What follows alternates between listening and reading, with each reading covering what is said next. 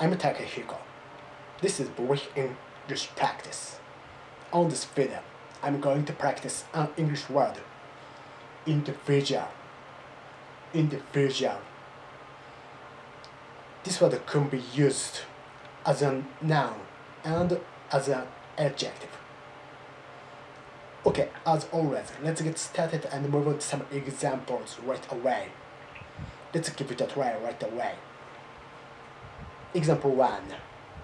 The company is famous for the achievement of some of its individuals.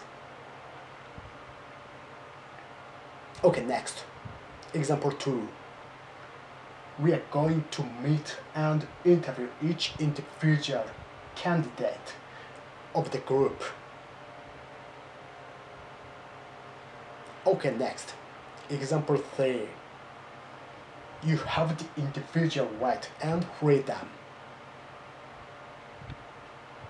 Anyway, that's it for this video. How was my English?